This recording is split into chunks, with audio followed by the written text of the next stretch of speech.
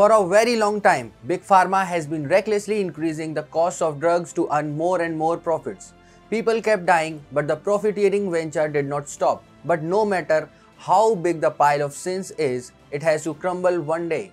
Well, Mark Cuban has started what can be termed as the beginning of the end of the Big Pharma lobby. Hi and welcome to TFI English, the national socio-political analysis arm of the TFI Media Group. I am your host Piyush and if you haven't subscribed to the TFI English channel yet, hit the subscribe button and press the bell icon to receive all the recent updates. Coming back to the story, I am here to tell you about the latest whirlwind which is hampering the dominance of Big Pharma. Towards the end of January 2022, Americans reeling under Biden manufactured inflation were in for a pleasant surprise. Celebrated investor Mark Cuban made an announcement which infused hopes of survival in the life of millions of Americans. He established a company aimed at bringing low-cost drugs to American homes. Recognizing that he is a brand himself, Cuban named the company the Mark Cuban Cost Plus Drug Company. MCC PDC is a direct consumer online company which provides medicines at a cheap rates to Americans. Up until now,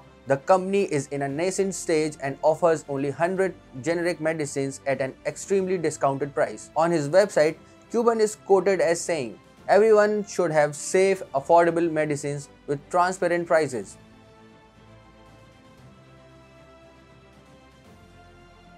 Medicines are one of the cheapest products found in nature.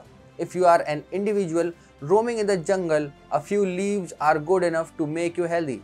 However, the scenario changes when you shift to concrete jungles. Here, the medicine availability depends on a much more complicated supply chain. Firstly, the drug manufacturer companies prepare a particular drug and then the distributors come into action. Through various layers of agents, the final cost of the drug sometimes increases to over 100 times higher than the manufacturing cost. In America, these middlemen coupled with big pharma have further exacerbated the pricing. They are the ones who big pharmacies and drug manufacturers closer.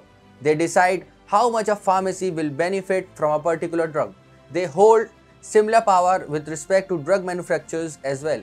Additionally, these agents are the biggest catalysts in medical insurance companies deciding which drug and which pharmacy will be covered under the insurer's net. Just three of these agents known as CVS Caremark, Express Scripts and Optum RX control over 80% of the US market. It leads to extreme distortion in pricing. If Americans directly buy a 30 count of imatinib which is a chemo drug it costs only $17.10 with a 15% profit to the seller. If the same drug goes through the aforementioned process, then it costs $2,502.60.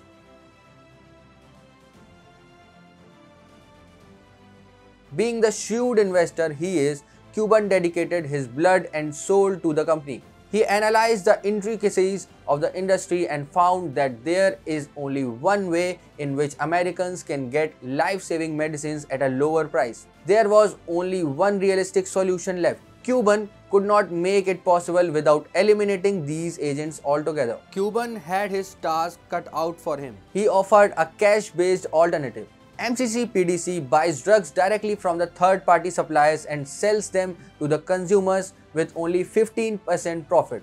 Even this profit is only intended just to keep the company up and running. By the end of 2022, Cuban is also planning to launch his own manufacturing facility. Mark Cuban has a penchant for staggering investments. He is an active investor in Dallas Mavericks professional basketball team of the National Basketball Association. Besides that, he has also invested heavily in social software and distributed networking industries. These industries may work as a bedrock for breaking the jinx of big pharma. Now, the next thing is getting a dedicated team on board. Cuban has his goodwill in the startup world. He has worked immensely towards building low-cost products and encouraging entrepreneurship by virtue of being a shark investor in television series Shark Tank.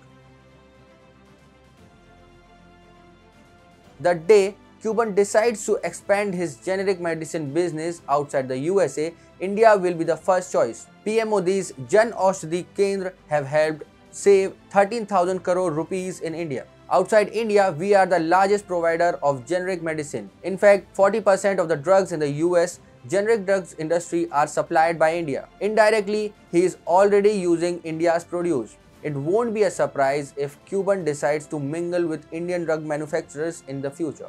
Generic Indian drugs are already an eyesore for Big Pharma. Imagine the mayhem if both Cuban and Indian generic sector decides to collaborate.